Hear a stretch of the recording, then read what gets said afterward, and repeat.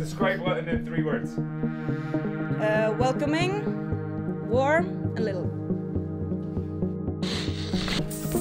I started taking notice to graffiti along the subway line in the early 90s, going from school to my friend's house. The recent years I've been traveling the world, but always enjoy coming back to my home region.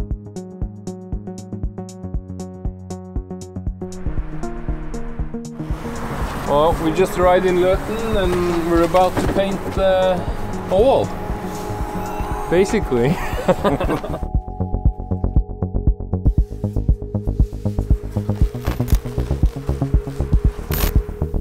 think it's the, the need we have from our like core to make a mark on something or leave our mark or uh, mark our territory in a way. The kids in Løten, they were. Um, I just find it very, very interesting to see like how people react as soon as they can hold a spray can for the first time.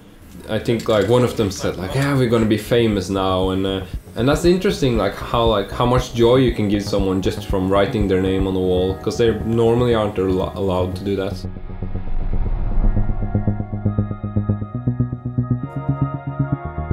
Kids are a bit passive about art. You have a lot of kids in art school in Løten, but they don't think about Munch that much. So I think this will be a nice reminder.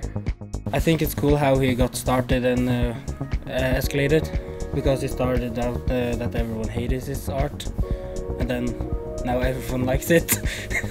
so I think it's cool uh, what Edvard Munch did. The inspiration for that wall was mainly Edvard Munch because that's it's his birthplace and my initial idea was that we I wanted to do something where I played on the creativity around you. That's why I left like a square in the middle inside the gold frame. That's that's very like museum like for the modern Edvard Munch to play with.